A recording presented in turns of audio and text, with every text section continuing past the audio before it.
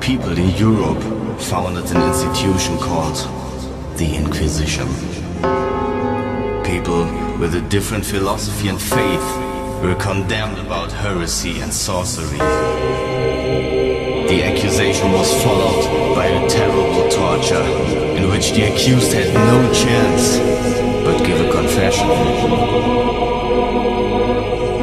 In many cases, their possession was confiscated and they were public burned on the funeral pyre.